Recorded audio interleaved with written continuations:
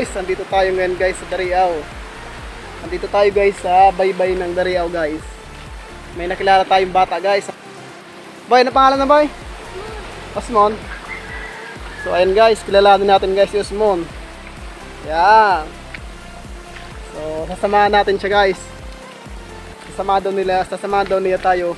Ituturo niya tayo dito sa Dariao. So, tara na guys.